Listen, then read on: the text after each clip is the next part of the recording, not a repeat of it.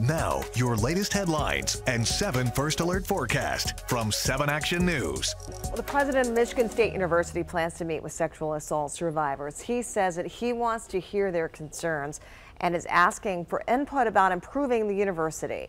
The meeting is scheduled for the MSU Union Ballroom tonight from 6 until 8.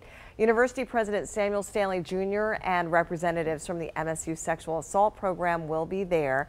Stanley says that listening to survivors is a top priority as his leadership team works on a plan for the university. Another meeting specifically about the Larry Nassar uh, case is set for next week with an online meeting later in October. Well, beginning this afternoon in Warren, you'll be able to pay your respects to those who made the ultimate sacrifice during the Vietnam War.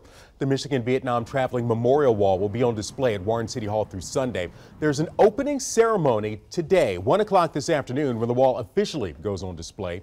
That uh, wall is dedicated to the memory of the thousands of men and women from Michigan who were killed in action or are still missing. The wall is sponsored by Vietnam Veterans of America.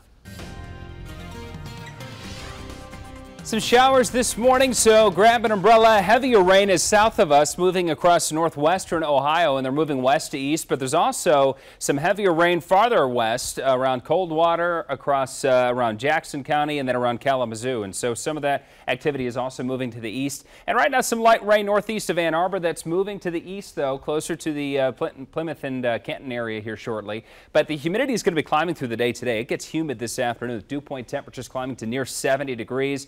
Our highs today, 79. That's the forecast for today. Our record today is 85 degrees. So I think we're below records today, but then tomorrow the forecast 87 degrees. The record high tomorrow is 88 degrees. So near record heat expected tomorrow.